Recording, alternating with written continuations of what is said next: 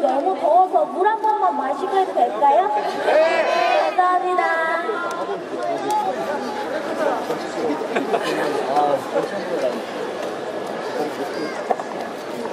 네, 여러분 방금 노래 어떠셨어요?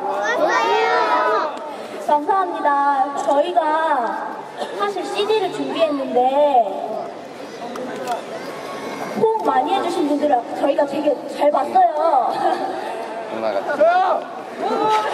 누나나세요. 그래서 하는데 호응 많이 해주신 분!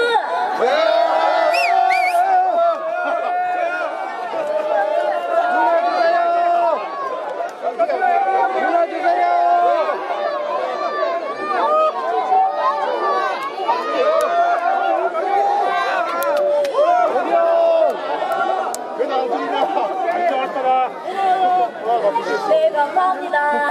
저희가 CD를 다 드리고 싶은데 저희도 이제 준비된 수량이 얼마 없어서 죄송하고요. 네, 앞으로도 저희 플래시 꼭 기억해주고 사랑해주셨으면 좋겠습니다. 네, 그리고 다음 주가 휴가철이에요.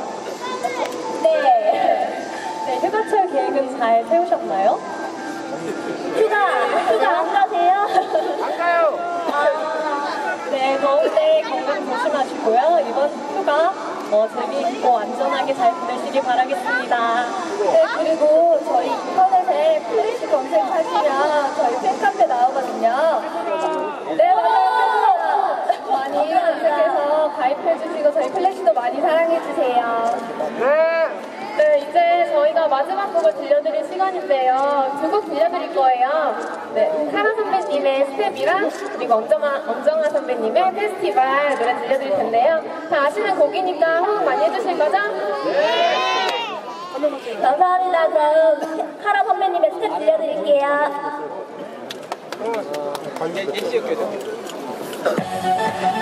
많이 해주세요.